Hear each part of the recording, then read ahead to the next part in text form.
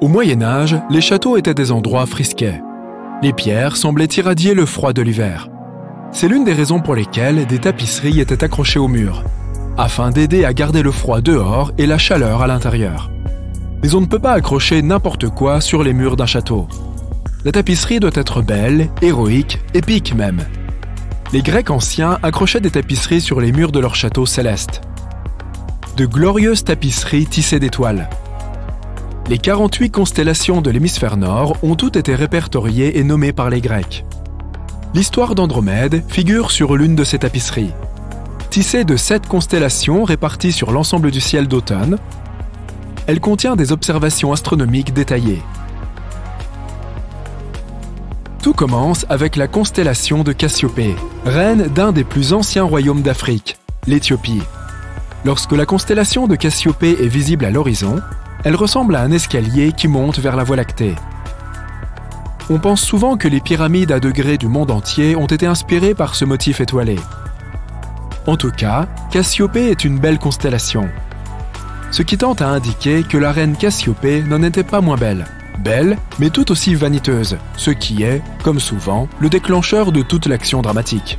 Dans le ciel nocturne, Cassiopée se trouve à l'opposé de la Grande Ourse par rapport à l'étoile polaire. Comme la Grande Ourse, Cassiopée se déplace dans le ciel autour de l'étoile polaire, ce qui en fait une constellation circumpolaire. La supernova Cassiopée A a été observée au sein de Cassiopée vers l'année 1680. Elle s'était produite environ 11 000 ans plus tôt. Le satellite à rayon X Chandra a récemment pris un cliché extraordinaire de ce reste de supernova, montrant les éléments soufre, calcium, silicium et fer au milieu des rayons X de haute intensité du nuage en expansion. L'époux de Cassiopée est aussi une constellation circumpolaire, mais une constellation mineure et peu lumineuse nommée Céphée. Il avait son propre royaume, la fusion de territoires par le biais d'un mariage semblant être une chose plutôt courante dans l'histoire. Céphée était un roi de Phénicie. On trouvait beaucoup de rois en Phénicie, à l'époque où ce n'était qu'un ensemble de cités-États éparpillés le long de la rive orientale de la Méditerranée. Céphée se trouve dans la zone située entre Cassiopée et l'étoile polaire. La constellation de Céphée est importante pour les astronomes. C'est là que Henrietta Swan Leavitt a découvert des étoiles variables qui pulsent à intervalles réguliers. Le taux de pulsation de l'étoile indique sa luminosité réelle et permet de mesurer avec certitude son éloignement. La découverte des étoiles variables céphéides a été une percée majeure pour l'astronomie du début du XXe siècle. Céphée et Cassiopée ont eu une fille, Andromède, elle aussi d'une beauté remarquable et qui est, sans mauvais jeu de mots, la véritable star de l'histoire. Il semble qu'un jour, Cassiopée se soit vantée de sa beauté et de celle de sa fille Andromède. Nous sommes plus belles que toutes les autres femmes du monde entier. Une telle présentation de la part d'une reine aurait pu être excusée. Mais Cassiopée est allée plus loin et a dépassé les bornes. En fait, nous sommes plus belles que toutes les Néréides. Les Néréides étaient des nymphes de mer dans la mythologie grecque, filles de l'océan. Réputées pour leur beauté et leur bienveillance envers les marins, les Néréides, au nombre de 50, se sont offusquées de se voir ainsi réduites par une simple mortelle. Cassiopée devait être punie pour avoir bafoué l'ordre naturel. La vanité de Cassiopée lui a valu une punition contre l'ensemble de son royaume d'Éthiopie un monstre venu du fond des océans, la constellation de la baleine, également nommée Cetus, a commencé à dévaster les villages côtiers d'Éthiopie ainsi que les bateaux de pêche du pays. Cetus est une constellation de l'hémisphère sud céleste, la quatrième plus grande en superficie de toutes les constellations. Cetus nage dans une partie sombre du ciel appelée l'océan. Seule sa tête s'élevant au-dessus de l'équateur céleste. Cette partie du ciel contient plusieurs constellations ayant pour thème l'eau, les poissons, le verso et l'éridan, le fleuve. Plus de 50 exoplanètes ont été découvertes au sein de Cetus. Il y a fort à parier que le télescope spatial James Webb s'attachera à analyser le spectre atmosphérique de ces planètes à la recherche de signes de vie. Pendant ce temps, la reine Cassiopée et le roi Céphée doivent faire quelque chose au sujet du monstre qui dévaste les côtes de l'Éthiopie. Ils consultent un oracle et font une autre incartade par-delà des domaines de la raison et de la nature. Dis-nous, oracle, que pouvons-nous faire pour empêcher le monstre de ravager notre royaume? Ce monstre n'est pas une affliction normale de la nature. Une offense a été commise contre les royaumes supérieurs. Et voici la punition. Le monstre ne peut être arrêté par aucun moyen normal. Seul un sacrifice humain de l'être le plus noble pourra apaiser la bête. Une erreur en entraîne une autre. La personne la plus noble du royaume, bien sûr, est la princesse Andromède. Suivant l'ordre de son père avec le consentement, voire même sur la suggestion de sa mère, Andromède est enchaînée à un rocher au large. Elle est le sacrifice humain qui, selon ses parents, sauvera le royaume. Mais attention, voici le fameux héros grec qui vient tout résoudre, arrêter le sacrifice humain et transformer Cétus en pierre, Persée. D'où arrive Persée? Des îles Hébrides d'après la légende. Persée s'est rendu aux Hébrides à la poursuite de la gorgone Méduse. L'étendue géographique de cette tapisserie est immense.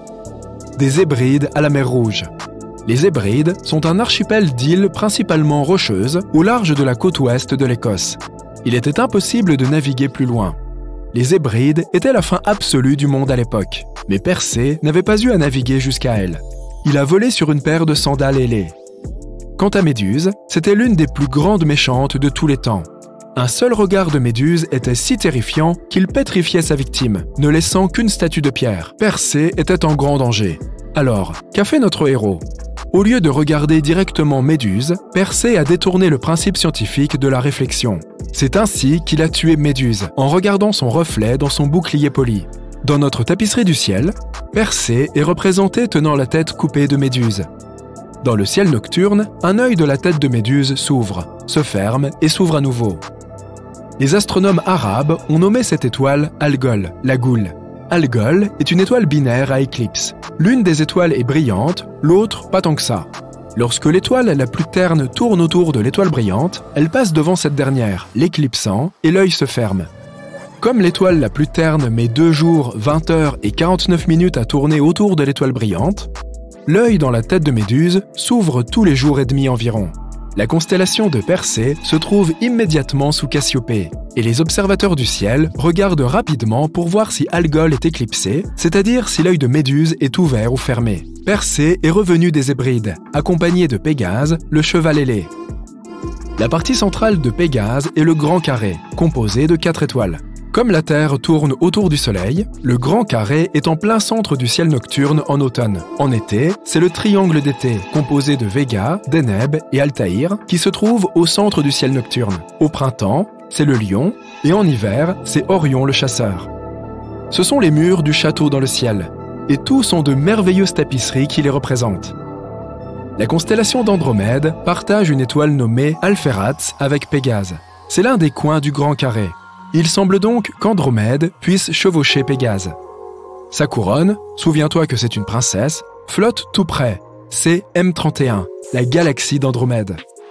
Pour voir M31, il faut traverser les coins du grand carré de l'étoile la plus basse à l'étoile la plus haute et aller un peu plus loin pour voir la galaxie d'Andromède. Assure-toi de la regarder du coin de l'œil. C'est ce qu'on appelle la vision détournée. Les coins de tes yeux sont plus sensibles à la lumière, tu pourras donc voir l'énorme galaxie spirale, située à 2,5 millions d'années-lumière, comme une tache lumineuse une fois et demie plus large que la pleine lune. Persée ne veut pas de sacrifice humain, de sorte qu'il s'interpose et sauve Andromède en exposant Cétus au regard de Méduse. Et c'est là que nous rencontrons la deuxième variable éclipsante de notre tapisserie du ciel, Mira, l'étoile du cœur de Cétus, le monstre des mers. Mira, d'où nous vient le mot miroir, si appropriée dans une histoire de vanité, est une étoile binaire à éclipse. L'étoile la plus terne, en orbite autour de l'étoile brillante, est une naine blanche, trop diffuse pour être perçue à l'œil nu. On a l'impression que le cœur de Cétus s'éteint. Mira est éclipsée et disparaît. Ce cycle se répète tous les 332 jours. Notre fabuleuse tapisserie d'étoiles possède les deux seules étoiles binaires à éclipse visibles à l'œil nu. La galaxie spirale la plus proche, ainsi qu'un héros qui n'aime pas les sacrifices humains et utilise les principes de l'optique pour vaincre des monstres mythologiques. Si tu avais un château, tu pourrais l'y accrocher.